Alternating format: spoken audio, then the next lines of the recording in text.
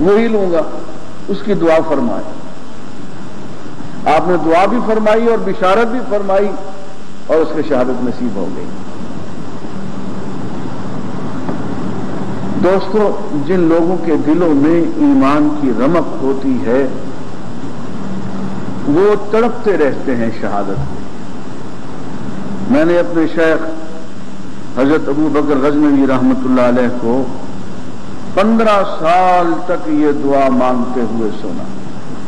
हर दुआ का आखिरी जुमला ये होता था अल्लाह मरजुकनी शहादतन फ़ी सबीली ये तकूना कली का ही अलिया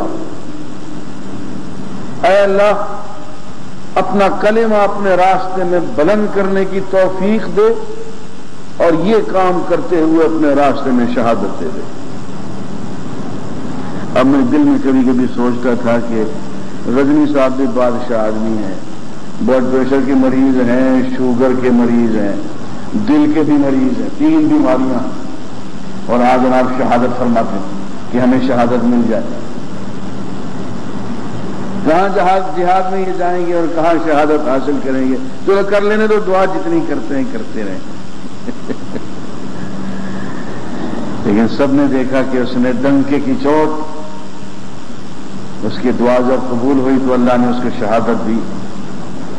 और एक दुनिया ने देखा कि यूँ शहादत हासिल हुआ करती। तो दोस्तों, बात यह है कि ये शहादत कोई इत्तिफाकी बात नहीं है। ये एक सहाबी को हुजूर ने दुआ दे दी यरहमुकल्ला अल्लाह तेरे हाल पे रहम कर। खिदमत दी उसे हुजूर की खिदमत की दिल खुश कर दिया हुजूर का। तो आपकी ज़ुबान से ये अल्फाज निकले, यरहमुकल्ला। अल्लाह ताला तो इस पर रहम हज़रत उमर सुन रहे थे, उसको बुला के कहने लगे, तुम्हें शहादत की खुशखबरी देता हूँ कि हजूर ने जिस पे ये दुआ दी है, उसको अल्लाह ने शहादत दे दी है। तुझे मिलेगी।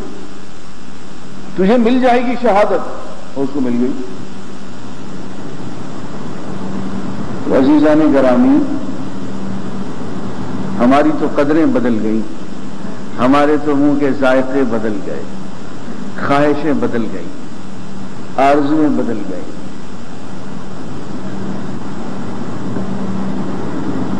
प्रोग्राम बदल गए। अब हम अपने बच्चों में एड़ियाँ रगड़ रगड़ के जीने की ख्वाहिश पैदा करते हैं। गुलामी में मसलियतें ढूंढ ढूंढ के जीने की ख्वाहिश पैदा करते हैं, दीन के लिए मरने की ख्वाहिश पैदा नहीं करते। अपने दिल में भी नहीं है, आगे मुंतकिल भी नहीं। मिजाज बदल गए, मुँह के जायके बदल गए, जौक बदल गए। इसलिए शहादत का लफ्ज हमें मुश्किल तकलीफ़ दे लगता है कि है भाई, मर जाएँगे। और यार, मरना तो है ही। अगर मैं ये कह दूँ कि मेरे दोस्तों तुम सबको सजाए मौत हो गई है। तो आप नाराज़ हो जाएँगे। किसी दोस्त को कह दूँ कि यार तुझे तो सजाए मौत हो गई। लेकिन ये पता नहीं इफ़ेक्ट कब हो। You have been sentenced to death अगर मैं किसी को कह दूँ कि, look, mister so and so मियाँ फला you have been sentence to death तो वो नाराज़ हो जाएगा। ये कहते हो कि है मेरे लिए, मौत का फैसला हो गया है। तो यार और किसका फैसला हुआ होगा? मौत का फैसला नहीं हुआ होगा। किसकी मौत का फैसला नहीं हुआ? और यार दुनिया में अगर कोई शख्स हमारी हमेशा जीता और जिसको इजाज़त मिल सकती थी कि मैं मौत नहीं आती तो ना आए, रोक सकता अगर कोई शख्स मौत को तो मोहम्मद रसूलुल्लाह कि। मौत का फरिश्ता भी इजाज़त लेके आया, कि अगर इजाज़त हो तो। वो थे कि मौत से बच सकते। लेकिन जब उन्हें भी आके रही जब अहमद मुरसल न रहे कौन रहेगा यारो, हम सबको सजाए मौत हो चुकी है। बस इतना पता नहीं है, जैसे कि एक शख्स को सजाए मौत हो जाती है, उसको जेल में रख दिया जाता है। अब ये पता नहीं होता किस दिन फांसी पर लटकाया जाए, किस दिन वो इफ़ेक्ट हो जाए। क्या यही कैफियत हरे की नहीं? सबकी मौत का फैसला हो चुका। लेकिन ये पता नहीं कि इस फैसले पे अमल कब हो। बावलपुर के नवाब साहब के हकीम थे हकीम अब्दुल रशीद साहब। बड़ा नेक आदमी थे, बड़े आलिम दीन, सूफी आदमी। दर से कुरान देते थे, मैं उनके दस में बैठता था, उनसे दीन सीखा मैं दिल के बहुत बड़े तबीब थे नब्बाज थे। उनके एक दोस्त को दिल का दौरा पड़ गया। जल्दी में तांगे में बैठे। दवाइयों का वो सारा पुश्तारा उठा के टांगे में बैठे टांगे वाले से कहा, तेज चलो। मरीज़ की हालत नाजुक है। मरीज़ के यहाँ पहुँचने से पहले आज जन आपको तांगे में ही दिल का दौरा हो गया मरीज़ बच गया, ये नहीं बचे। इसका क्या करेंगे आप? मैं दम्माम में था, एक दोस्त की इयादत को गया। तो उसने कहा, मलिक साहब, अब वो दुआ मेरे लिए कर दें, जो मैं अपने लिए नहीं कर सकता। मेरे पेट में 10 किलोग्राम का ट्यूमर है। ट्यूमर थोड़ा जिसका वज़न 10 किलोग्राम। और कहते हैं कि मुझे 25 साल से कैंसर का मरज है। तीन मरतबे ऑपरेशन हो चुका। और तीन मेरे वो डॉक्टर मर गए जो मुझे नाकाबिल इलाज करा, करार दे चुके थे। तीन वो डॉक्टर भी मर गए। और मुझे मौत नहीं आ रही। लेकिन अब दर्द नहीं सहा जाता। अब मुस्तकिल टीकों पे पेन किलर्स पे ज़िंदगी के लम्हे गुजार रहा हूँ। तकलीफ़ अब बहुत है। तो जो दुआ मैं अपने लिए नहीं कर सकता, यानी मौत की दुआ अपने लिए करना जायज़ नहीं है। ना तो मलिक साहब, अब आप वो दुआ कर दें मेरे लिए, ताकि मेरी मुश्किल हल हो। उसी महीने वो फौत भी हो गए। लेकिन 25 साल तक कैंसर का मरीज़ ज़िंदा रह सकता है। उसका डॉक्टर ज़िंदा नहीं रहता। एक डॉक्टर मर गया, दूसरा मर गया, तीसरा मर गया। पता ये चला कि ये जीना और मरना कुछ अजीब और गरीब चीज़ें हैं। और मौत हर एक की ताक में है। कोई सोता हो जैसे डूबती कश्ती के तख्ते पर अगर कुछ है तो बस इतनी ही दुनिया की हकीकत है। कोई सोता हो, जैसे कश्ती डूब गई, टुकड़े टुकड़े उसके हो गए, तख्ते बिखर गए, और कोई शख्स उस डूबने वाली कश्ती के तख्ते पे सो रहा बड़े आराम से खर्राटी ले रहा यह तख्ता कब तक उसकी जान बचाएगा? कोई लहर आएगी उसे डिबो देगी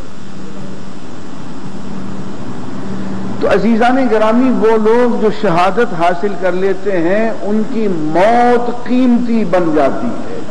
मौत तो आ रही होती है, लेकिन जिस तरह ज़िंदगी और ज़िंदगी में फ़र्क होता है, हमारे सांस लेने में और एक वलीउल्लाह के सांस लेने में फ़र्क होता है। हमारे एक एक पल गुजारने में और एक वलीउल्लाह के, एक आलिम रब्बानी के एक एक पल गुजारने में फ़र्क होता है। इसी तरह से हमारे दम तोड़ने में और उसके दम तोड़ने में भी फ़र्क होता है। इसलिए हजूर ने यह दुआ फरमाई, क्या खूबसूरत दुआ है। अलहमदिल्ला इसमें दुआ रफात मैंने यह दुआ मांगी। अल्लाह मरहम गुरबती फिर अला दुनिया में ये जो तूने हमें गरीब उद्यार बना रखा है, इस मुसाफिरत के आलम पे, इस गुर्बत के आलम में अल्लाह तो हम पे रहम फरमा। अल्लाह मरहम मस्कती हिंदल मौत। और अल्लाह, मौत के वक्त जैसे मैं गिरूँगा, तेरे हुजूर और दम तोड़ूँगा अल्लाह, उस आलम पे भी तू मुझ पर रहम फरमा। अल्लाह मरहम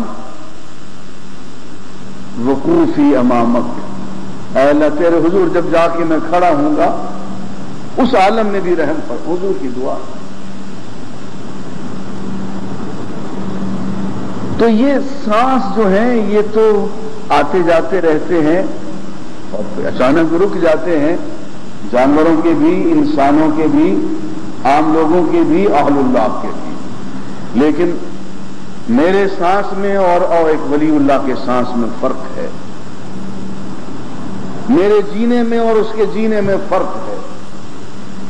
ऐसे ही हमारे मरने में और उसके मरने में फ़र्क है। दोस्तों वो जिसकी मौत कीमती हो गई उसका सब कुछ कीमती हो गया। और मौत का कीमती हो जाना इस बात की गवाही है कि उसकी ज़िंदगी भी कीमत हो गई। उसकी ज़िंदगी का एक एक लम्हा जो अल्लाह ने कीमती बना दिया इसलिए उसको शहादत कहते हैं। उसकी मौत गवाही है उसकी ज़िंदगी के कबूल हो जाने पे। अब ये अजमत शहादत कुछ बयान कर देने के बाद, मैं उस हाबी का ज़िक्र कर रहा था, जिन्हें एक नमाज़ का वक्त भी नहीं मिला। हजूर ने फरमाया, आमिला कलीलन व उजरा कसीरा। अमल तो इसने थोड़े किए लेकिन अजर बहुत सारा ले गया। चंद घड़ियाँ इस्लाम की उसने गुजारी हैं। चंद साहतें शायद घंटे भी ना हो, मिनट हो। लेकिन सब कुछ समेट के ले गया।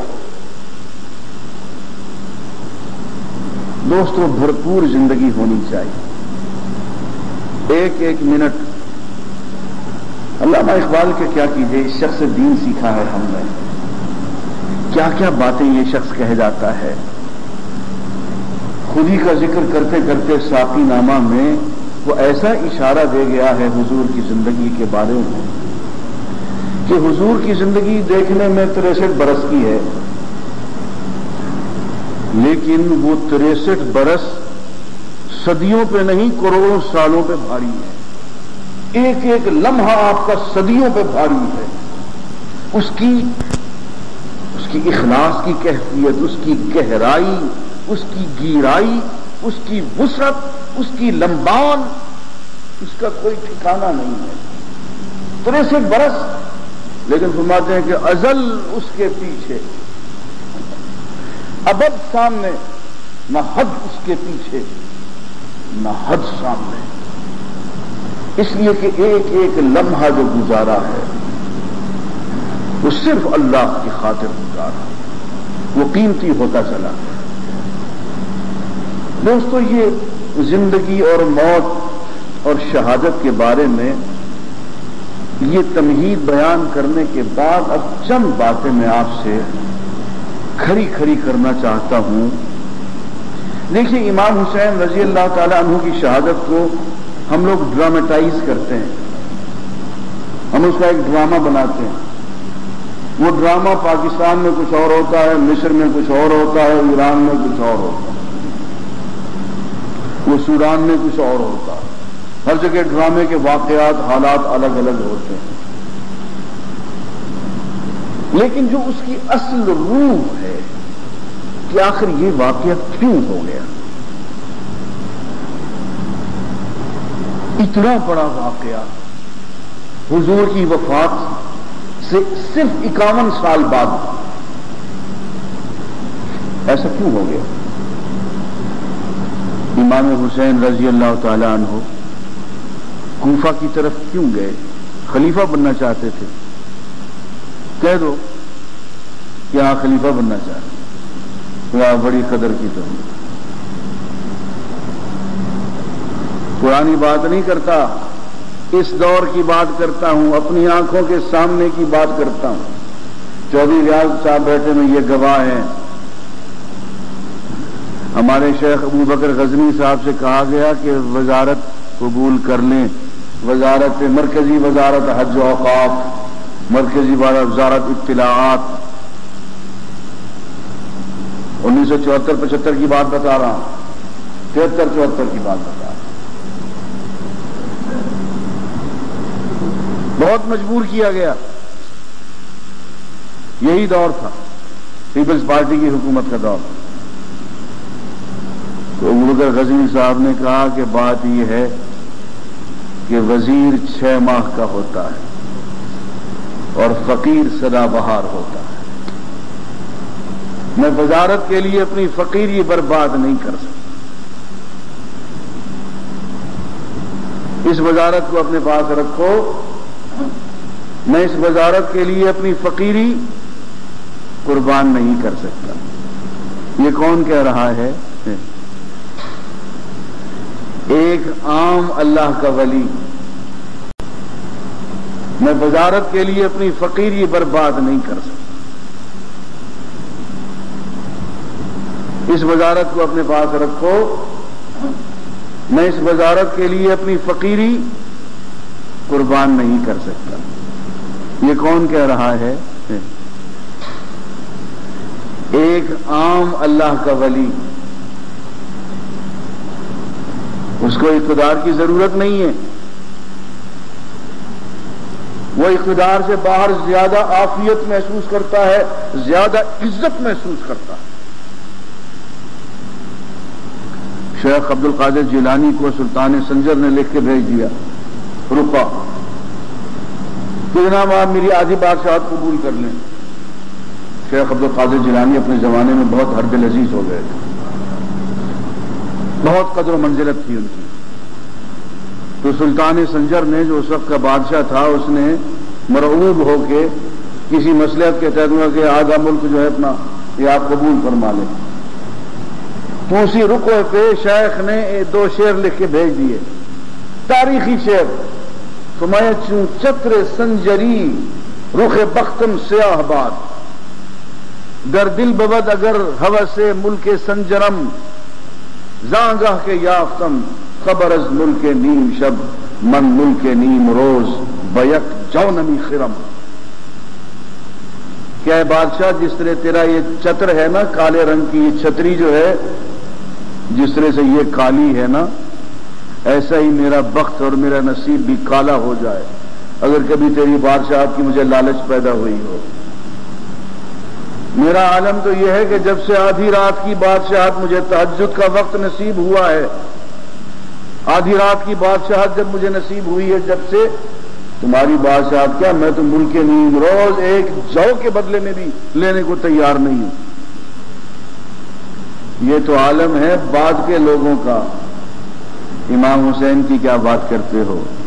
खलीफा बनना चाहते थे। इकतदार की हवस रखते थे। दूसरों को हटा के खुद कुर्सी पे बैठना चाहते थे।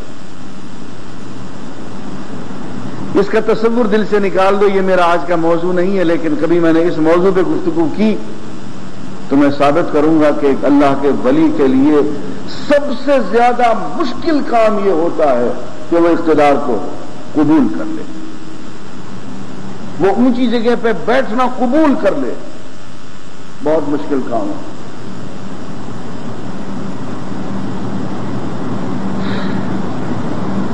तो इमाम हुसैन खलीफा नहीं बनना चाहते। तो फिर कूफा में क्या लेने आए? क्यों आए? जाती दुश्मनी थी, यजीद से। रिश्ते का पता है? साला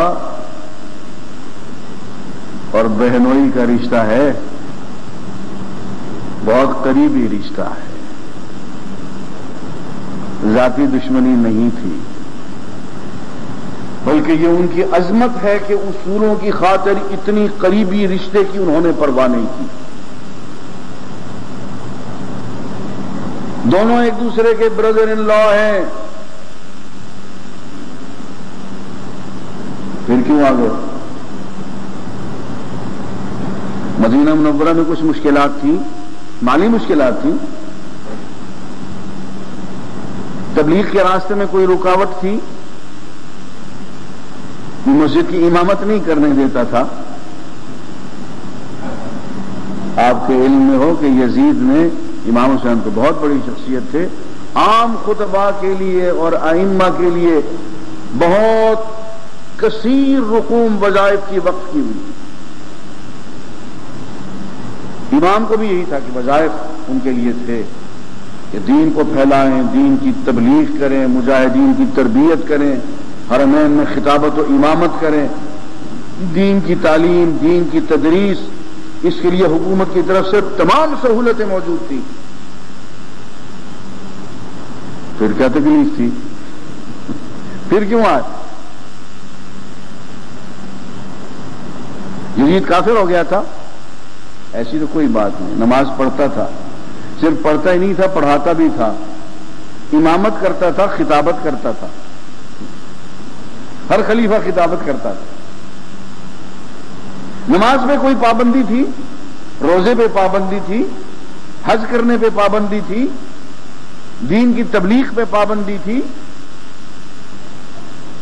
जिहाद पे कोई पाबंदी थी यार तो नहीं था। यार फिर ये वाक्य क्यों पेश आ गया? अजीजा ने ग्रामी ये बात को जरा गौर से सुने। हमारा मौलवी और हमारा जाकिर सारी ड्रामाबाजियाँ करता है, असल बात नहीं बताता। मैं असल बात आपको बताने लगा हूँ, गौर से सुने। असल बात यह है कि यजीद सेकुलरिज्म का आलम अलम्बरदार था।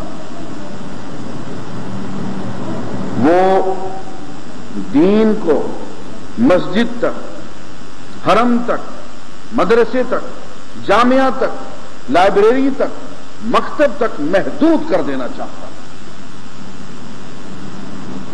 कि इमाम हुसैन, आप आलिम दीन हैं, आप आले रसूल हैं, आप मस्जिद में बैठे, आप हरम मक्की में बैठे, आप हरम मदनी में बैठे, आप दर्श दें, आप तबलीग करें, आप तदरीस करें आप मुजाहिद तैयार करें। हुकूमत के चक्कर में ना पड़े। ये हुकूमत का मामला इसमें अल्लाह और रसूल को लेके ना आ जाए। हुकूमत हमें अपनी मर्ज़ी से करने दें जैसे हम चाहेंगे करेंगे। इसको सेकुलरिज्म कहते हैं। कि दीन को जुदा कर दिया जाए। दुनियावी मामलात से। मौलवी को दुल्हन बना के बिठा दिया जाए। उसके लाउड स्पीकर की घन गरज हो। ऊँचे ऊँचे कुब्बे हों, ऊँची ऊँची मीनारों की मस्जिदें हों बड़े बड़े मदरसे हों बड़ी बड़ी लाइब्रेरियाँ हों बड़े बड़े जामियात हों मौलवियों की बड़ी बड़ी तनख्वाहें हों। लेकिन उनकी किसी बात को ऐवान हुकूमत तक ना पहुँचने दिया जाए। अल्लाह और रसूल, काल अल्लाह काल रसूल जो है, वो मस्जिद तक रहे मदरसे तक, जामे तक रहे, वो ऐवान सदर से उसका कोई ताल्लुक ना हो। प्राइम मिनिस्टर हाउस तक ना वहाँ तक नहीं, वहाँ पहरा है इन बातों की। ऐवान तिजारत में नहीं, ऐवान हुकूमत में नहीं, सेक्रेटेरिएट में नहीं, अदालतों में नहीं। वहाँ काल अल्लाह और काल रसूल नहीं जाएगा। मस्जिदों में जितना चाहो शोर मचा लो। यहाँ लाउड स्पीकर खूब बजाओ लोगों के सोने ना दो शोर मचाओ। आपस में नूर बशर के झगड़े खूब करते रहो। लेकिन अदालतों में सेक्रेटेरिएट में ऐवान तजारत में, ज़िंदगी के अमली मामलात में, वहाँ तुम्हारी कोई सुनवाई नहीं। यजीद सिर्फ़ यही चाहता है। क्या इमाम अली मकाम? हम आपका बहुत एहतराम करते हैं, लेकिन आप अपनी जगह पर रहें यही हरम में रहें। हुकूमत के मामला में दखल न दें। यहाँ पे काल अल्लाह और काल रसूल लेके ना आए, यहाँ पे खिलाफत की बात न करें। हुकूमत करनी है तो फिर हम ईरान के बादशाहों के तरीके पे करेंगे। फिर हम रोमन किंग्स के तरीके पे करेंगे। ये अबू बकर और उमर और उस्मान और ये अली, इनके तरीकों पर यार नहीं होती, हुकूमत बड़ा मुश्किल काम है। अब भूखे मर गया खुद भी हमें भी भूखा मारना चाहते हो, ये नहीं होता। मुल्ला बन के हुकूमत नहीं करेंगे। मुल्ला ब्रांड का दीन नहीं चाहिए हमें।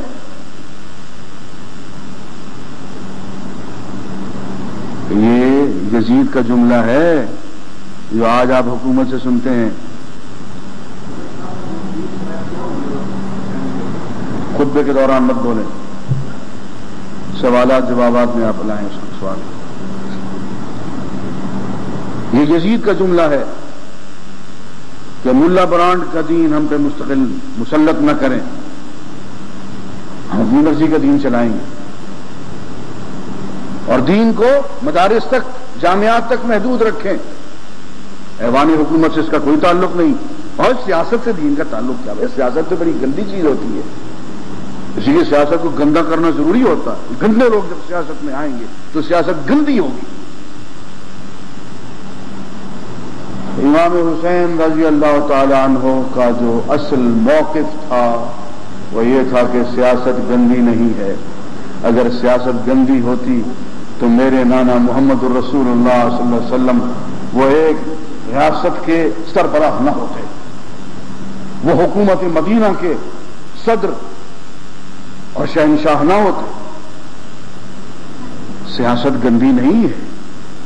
सियासत अगर गंदी चीज़ होती तो उसमें अबू बकर ना आते, उमर ना आते, उस्मान ना आते, अली ना आते। रिजवानुल्लाह ताला मजमाई सियासत को तुम गंदा बना रहे हो। और दीन का असल तकाजा ये है कि दीन पूरी ज़िंदगी पे हावी है। अल्लाह ताला का हुक्म ये है या अयुहल्लजीन आमनुदखुलू फिसिल में काफा अहले ईमान, दीन में आते हो तो पूरे के पूरे आओ। भला तब तभी वो खुतवात शैतान। और शैतान के नक्श है कदम की पैरवी न करो। ऐसा नहीं है कि पचास फ़ीसद मुसलमान और पचास फ़ीसद बाहर चालीस फ़ीसद मुसलमान और साठ फ़ीसद बाहर कहीं और के लिए आएँगे। सत्तर फ़ीसद मुसलमान और तीस फ़ीसद डेमोक्रेट। अस्सी फ़ीसद मुसलमान और बीस फ़ीसद सोशलिस्ट। वहाँ। चूसू का मुरब्बा बना दिया थी मैं दीन में आते हो तो मियाँ पूरे के पूरे आओ। फिर सियासी निज़ाम भी इस्लामी होगा, माशी निज़ाम भी इस्लामी होगा, समाजी निज़ाम भी इस्लामी होगा। फिर तिजारत भी ज़रात भी मीशत भी, इनफरादी ज़िंदगी भी इज्तमाही ज़िंदगी भी सब कुछ इस्लाम के दायरे में होगा, इससे बाहर जो कुछ भी होगा। वो खुतवात शैतान है। वो शैतान के नक्श है कदम है। देखें, कुरान मजीद को कान आँखें खोल के पढ़े। या अहल किताब लस्तुन माला शई। अहले किताब, तुम्हारी कोई हैसियत नहीं। हत्ता तुकीम तौरात वल इंजील। जब तक कि तौरात को और इंजील को कायम न कर दो। वो माँ उन जिला इलेकुम मेर रबिकुम और इस किताब को जो अल्लाह की तरफ़ से तुम पे नाजिल हुई है, इसको जब तक कि तुम कायम न कर सको। उस वक्त अहल किताब, ए मशाइ उज़ाम ए किराम, ए रोहबान, ए राहिबो, पीर साहेबान, उस वक्त तक तुम्हारी कोई हैसियत नहीं तुम कोड़ी के भी नहीं लोग तुम्हारे हाथ सुनते रहेंगे, फरिश्ते तुम पे हँसते रहेंगे, तुम्हें पिटकारते रहेंगे। लोगों के तो सामने तुम्हारी जो भी हैसियत हो जिंदाबाद तुम्हारी पुकारी जाएगी। लेकिन जब तो तुम खालिश दिल से अल्लाह के कुरान को, अल्लाह के दीन को पूरी ज़िंदगी पे नाफिज नहीं करना चाहोगे और इसके लिए कोशिश नहीं करोगे, तुम्हारी कोड़ी की भी हैसियत नहीं है अल्लाह के नसीब। लस तुम आला शही तुम्हारी कोई हकीकत नहीं। ये बात इमाम हुसैन कह रहे थे। तेज़ी देखो, हुकूमत करो तो मोहम्मद रसूलुल्लाह के तरीके से करो। हम तुम्हारे हाथ पे बैत करेंगे। अबू बकर, उमर, उस्मान, अली रिजवान पे करो। हम तुम्हारे हाथ पे बैत करेंगे, वफादारी करेंगे, तुम्हारे लिए जाने देंगे। और अगर तुम इससे हट के नया तरीका इख्तियार करते हो और दीन की बुनियादों को खोखला करते हो, दीन के इज्तिमाही निज़ाम में खलल पैदा करते हो तो फिर हमारी लाशों के ऊपर से गुजरना पड़ेगा। फिर हम जान दे देंगे। और इस आलम में ज़िंदा रहना गवारा नहीं करेंगे। यह है हुसैनियत सारी की सारी। कि ज़िंदा रहना इस आलम में कि मोहम्मद रसूलुल्लाह की एक एक सुन्नत की खिलाफ वर्जी हो रही हो। जबकि सूद पूरी, पूरे मुल्क का निज़ाम बन गया। जबकि जालिमाना जमहूरियत पूरे मुल्क का निज़ाम बन गई हो। जबकि इस्लाम की आवाज़ सिर्फ़ मदारिस तक महदूद, मसाजिद तक महदूद होकर रह गई। तो उस वक्त फरमाया कि ऐसे आलम में ज़िंदा रहना बजाते खुद एक जुर्म है। कि ज़िंदा रहना इस आलम में कि मोहम्मद रसूलुल्लाह की एक एक सुन्नत की खिलाफ वर्जी हो रही हो। जबकि सूद पूरी, पूरे मुल्क का निज़ाम बन गया। जबकि जालिमाना जमहूरियत पूरे मुल्क का निज़ाम बन गई हो। जबकि इस्लाम की आवाज़ सिर्फ़ मदारिस तक महदूद, मसाजिद तक महदूद होकर रह गई। तो उस वक्त फरमाया कि ऐसे आलम में ज़िंदा रहना बजाते खुद एक जुर्म है। यही लामा कहते हैं कि बरतरज अंदेशाए सूद जिया है ज़िंदगी। है कभी जां और कभी तस्लीम जा है ज़िंदगी। कभी ज़िंदा रहना ज़िंदगी होती है और कभी जान लुटा देना ज़िंदगी होती है। और इस मामले में असबाब की भी परवाह नहीं की जाती नदाइश की भी परवाह नहीं की जाती। अजीजा ने ग्रामी सेकुलरिज्म इसी बात का नाम है कि ज़िंदगी के खाने बना दिए जाएँ, हिस्से टुकड़े बना दिए जाएँ। भाई ये तो रात को खड़े होकर तहजद पढ़ेंगे। इतनी देर तो हम अल्लाह अल्लाह करेंगे। और सुबह उठ के अंग्रेज़ बहादुर के हुक्म पे अपने ही ओलमा को हथकड़ियाँ पहनाएँगे। वाह, क्या बात। ज़िंदगी कितने दो अलग अलग खूबसूरत खाने बना दिए ताबूत और शैतान के कहने पे दीन की दीवारें भी मुस्मार करेंगे, काबे पे गोली भी चलाएँगे, रात को खड़े के अल्लाह अल्लाह भी करेंगे। क्या बात है सुबहान अल्लाह मैं जोब में था फोर्ट संडे मंद में तो कमिश्नर बहादुर ने मुझे तलब किया, कहने लगे भाई, वो आप कुरान मजीद अच्छा पढ़ते हैं, जरा हमारा एक फ़ंक्शन हो रहा है। उसमें जरा तिलावत फरमा दीजिए। मैंने कहा, जी, हाजिर ज़रूर कर देंगे। फ़ंक्शन क्या है? कहने लगे, वो बैंक का हम इफ्तः कर रहे हैं। मैंने कहा, जी, इस्लामी बैंक है ये। कहने लगे, नहीं, इस्लामी तो नहीं तो मैंने कहा, आप सूद खोरी फरमाने के लिए कुरान खानी फरमा रहे हैं? सूद खोरी के लिए सूद खोरी का एक निज़ाम आप उसका इफ्तः फरमा रहे हैं और इब्तदा कुरान खानी से होगी। मैं तो तिलावत नहीं करूँगा। अजीजा ने ग्रामी ये एक निज़ाम हमने घर लिया है कि हर हिफाजत करो, इब्तदा कुरान खानी से करो, सब ठीक हो जाए, बरकत हो जाए। फ़िल्म का इफ्तः हो रहा है, सिनेमा का इफ्तः हो रहा है, कुरान खानी हो रही खत्म कुरान हो रहा है माशा आगे मैं नहीं बताता तो एक और मंजिल भी है। वो कोठे वालियाँ हैं, वो भी इफ्तः करवाती हैं कुरान खानी से। मुझे कहते हुए शर्म आता ये सेकुलरिज्म के रूप, ये रूप है। दीन की जड़ें काटो, दीन की दीवारें हिला दो। देगे पकवाओ हाँ। और देगे तकसीम करो गरीब लोगों में। मजारों को कुशल दो उन पर चादरें चढ़ाओ। खैरात के काम करो। मस्जिदें बनवाओ, मदरसे बनवाओ दर्श शुरू कराओ और साथ साथ दीन की जड़ें भी काटो। ये सेकुलरिज्म है।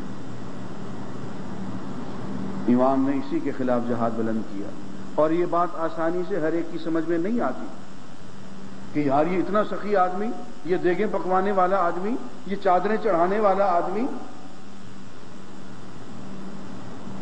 ये कैसे दीन का मुखालिफ हो सकता?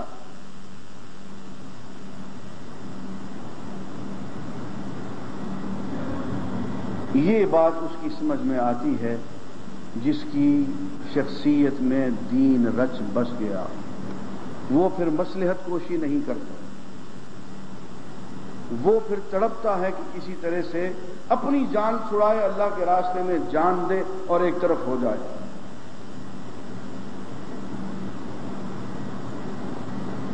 जिस ढब से कोई मक्तल में गया, वो शान सलामत रहती।